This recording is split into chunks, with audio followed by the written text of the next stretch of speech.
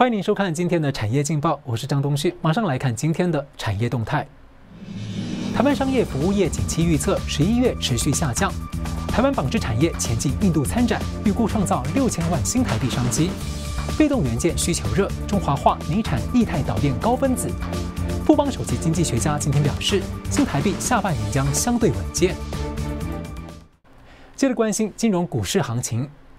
台股今天开低后，盘中多度反弹后再翻黑，指数在年线附近震荡整理。观察类股的表现，被动元件和金融族群涨跌互见，电子三雄也各自表态。盘中由台积电和红海等全职股苦撑盘，不过量能不足，上攻力道有限。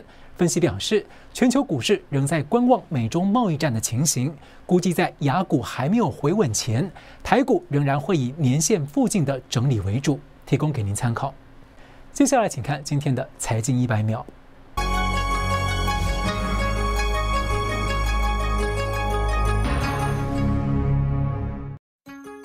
社群网站 Facebook 泄露用户各自，闹得满城风雨。在全球拥有十四亿用户的 Google 也证实，使用旗下电子邮件服务 Gmail 用户所收发的信件，有时会被第三方应用程式开发商阅读。包括 ReturnPath 和 Edison 两家公司的工程师，可查看数百万 Gmail 用户的电邮内容和收件人地址，恐酿成类似脸书各自外泄风暴。晶圆代工厂联电和美国半导体大厂美光互控侵权案，三日中国法院判决结果率先出炉。福州中级人民法院对美光提出禁令，要求美光在与联电专利侵权诉讼期间，立即停止在中国销售二十六个 DRAM 与 Flash 产品。消息拖累美国半导体类股周二大跌，也可能升级即将到来的美洲贸易纠纷。四川为比特币挖矿重镇，因近期受到暴雨重创，让数万台挖矿机遭洪水淹没，使得全球挖矿运算力骤减三成。预估比特大陆可能因此追加订单，比特币挖矿机晶片独家代工厂台积电将有望受惠。水泥业第二季业绩加温，台泥亚泥领涨。今年因为中国大陆实施错峰生产，严控水泥供给，让水泥价格维持高档，价格比往年高出两成左右。法人认为水泥供需健康，水泥双雄台泥、亚泥全年获利都有机会赚超百亿元，拼创历史新高。新唐人亚太电视整理报道。您有吃过机器人煮的饭吗？国外兴起了一股机器人餐厅，而这股潮流吹到了台湾，在台北也有机器人厨师，不仅会炒饭，还会煎牛排。而这对美食餐饮的产业人力结构将产生什么样的影响和冲击？带您关心。金黄色的炒饭粒粒分明，不过这背后的厨师可是一台造价三百万元的机器人。广告才子范可清开餐厅，与精密机械研发中心合作，导入本土机器大厨，不管是炒饭、炒菜还是煎牛排，都难不倒他。不过摆盘还得需要真人出动，很有新鲜感吧？然后用餐的气氛会感觉很愉快吧？然后小朋友应该会很开心。他真的不会醒，而且。嗯，炒饭最重要的是什么？就是粒粒分明嘛。所以我刚才吃的时候，我觉得真的好吃。透过机器人取代了厨师平常日常的工作，可以省下大量的人力，把这个人力成本放在食材上，于是我们就可以制造出，可以推出平价的高档美食。我们也提供一个很好的一个使用者的界面，让呃范先生顾呃店里的这些员工可以。很快速的去做弹性的一个编程的动作的编程，然后可以呃适应一些不同顾客一个需求。厨房内还有三台从德国进口的三 D 立体电磁炉，只要先调节温度跟时间，接着将油跟配料倒入，四分钟后就能轻松炒出三人份的炒饭。七位机器大厨一字排开，在美国波士顿的一家餐厅，民众只要透过触控荧幕点餐，机器人就会将备料放入锅子，转动加热，接着将煮好的食物倒入碗中。店内只有两名员工。We've designed our systems to make them complementary to our worker. The robot takes care of the hard work, the hot work, the washing, cooking, which enables our employees to focus on the really, really great stuff that people do, like customer service, making people feel welcome. It's difficult to say if more restaurants will move towards automation in the future.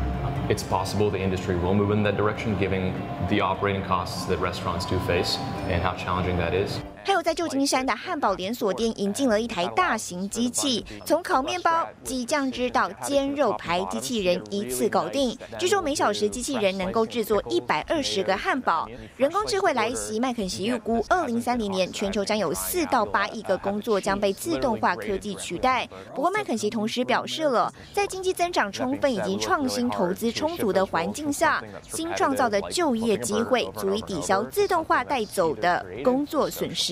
新唐亚太电视王光林、赵廷玉，台湾台北采访报道。带您看到今天的国际重要财经报纸讯息。彭博社：贵阳农商行债权不良率飙升到百分之十九点五四，引发市场担忧，中国地方银行危机扩大。金融时报：美国司法部公开调查矿业巨波 Glencore，市场震惊，股价暴跌超过一成三。华尔街日报：美中贸易战加剧人民币的贬值压力，中国将被迫改变货币干预策略。日本经济新闻：三菱 UFJ Lease and Finance 公司取得了英国水稻运营公司两成股份。台湾化妆品市场每年市值超过了千亿元新台币，而尤其皮肤保养品占了五成以上。瞄准美丽商机，各家厂商都选择自然成分来作为保养品的原料。而台湾有一家生技业者花费了三十五年投入巨资，研发出不需要乳化剂、化学成分的保养品。因为技术独到，许多的国际大厂也相继寻求合作机会，带您直击。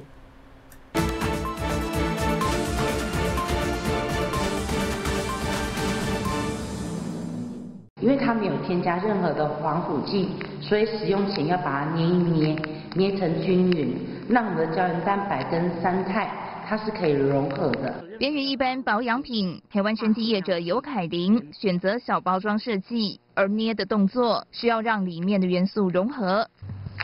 撕开包装，黄澄澄接近膏状的液体，闻起来有淡淡的食物香气。尤凯琳说，保养品原料就是从食物萃取。我们有呃六百多种的原物料，啊有淮山、谷类、小麦、珍珠、大豆。当初我们的研发者为了不放防腐剂，花费了将近有十年的时间。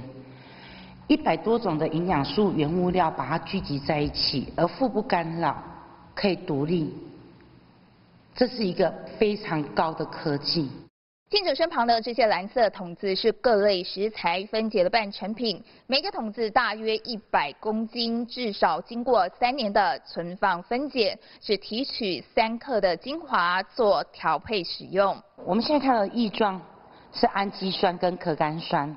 它是针对皮肤毛囊的营养，那膏状的部分是我们要的微量元素。蓝色桶子里装的是经过十年分解的芭乐萃取调和物，搅拌后一体呈现乳状的深褐色。除了水果，还有分解不到两个月的姜片。最令人感到惊讶的是，在这一个存放半成品的空间里，完全没有任何异味。这些食材必须要这么长的分解时间，由凯琳指出，也就是不需要乳化剂、化学成分的关键。我们所有的产品呢，必须要提炼三年的时间，让它自然的乳化，而不添加任何化学来使它乳化。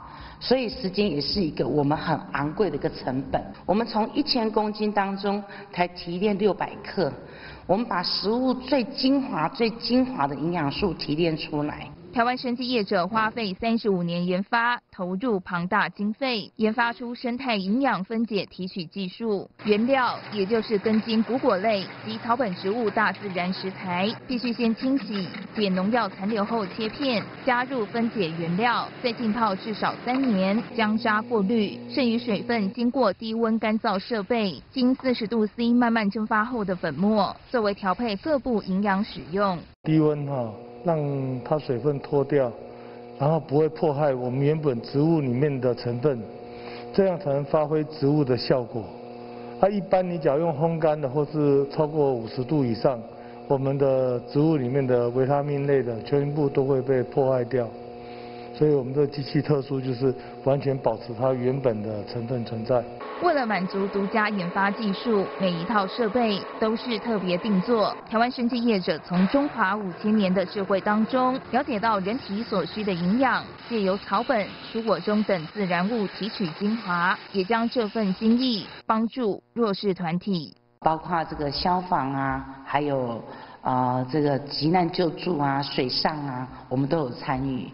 那我们很愿意啊，取之于社会，回馈于社会，帮助更多百姓，啊，帮助更多团体。我们希望一个良善的企业可以改变整个文化、社会。风气。